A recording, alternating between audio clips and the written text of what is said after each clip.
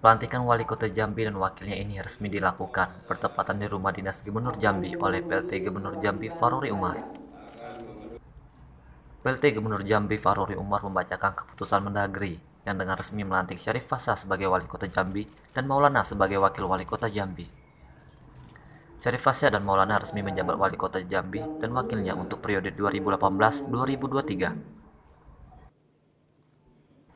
Setelah selesai prosesi pelantikan wali kota Jambi dan wakil wali kota, dilanjutkan dengan penandatanganan fakta integritas oleh kedua pasangan terpilih. Wali Kota Jambi Syarif Faisal berterima kasih kepada seluruh tamu yang hadir, khususnya kepada Pemkot Jambi, karena telah mensukseskan acara dan akan semaksimal memajukan Kota Jambi ke depan.